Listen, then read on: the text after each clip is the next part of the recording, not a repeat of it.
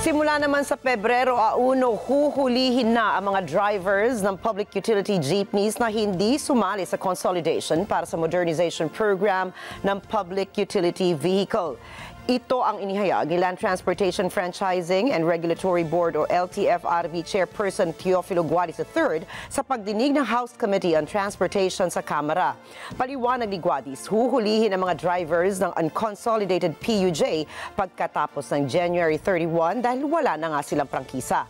Nilinaw ng opisyal na huli at hindi aresto ang mangyayari sa mga drivers dahil sa pag-operate ng kolorum na sasakyan. Matatandaang ang deadline ng PUV consolidation ay nagtapos noong December 31, 2023. Subalit, pinalawig pa ito ng isa pang buwan ng LTFRB. Sa datos ng ahensya, sa ngayon ay nasa 38,000 sa 150,867 jeepneys ang hindi sumali sa consolidation.